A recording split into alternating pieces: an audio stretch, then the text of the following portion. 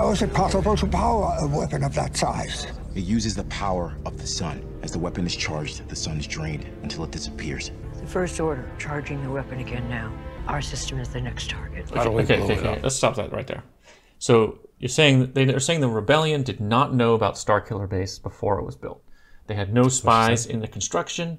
They had no spies like in ships doing reconnaissance of first order areas. They had no intelligence apparatus, and yet I, now they know where it's targeting right now. How do they know that? It was like a surprise thing that existed, and then they very quickly were like, "Oh yeah, this is how it works." Yeah, call call that guy on the inside where they're targeting. How'd you have a guy on the inside? How are you surprised? I thought you didn't know. Yeah, that's right. Yeah. If you had a guy on the inside, you should have known that it existed.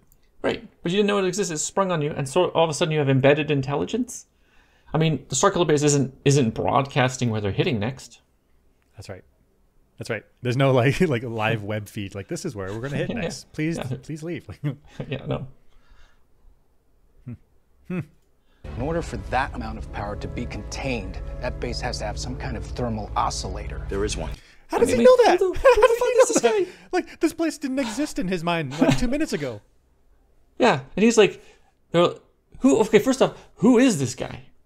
He's, he's okay. He's clearly speculating. So some like science advisor. Okay. Okay. But just because he said it needs a thermal oscillator, has that been vetted as what's happening? Is that the conclusion of his of his committee?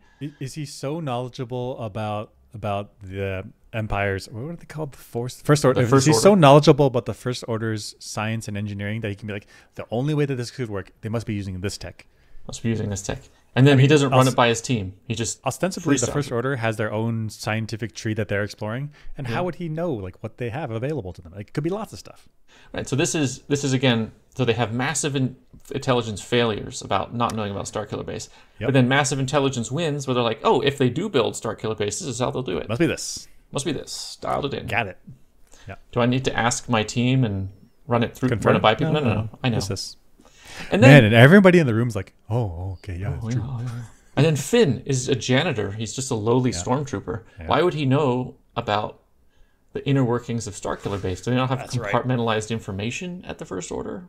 That's right. So I guess what should the the First Order do? They should they need janitors to clean stuff up, mm-hmm.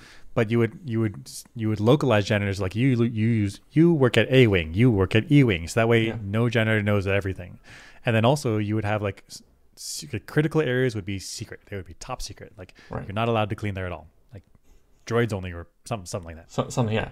Or or a janitor is not allowed to leave the base ever. Yeah.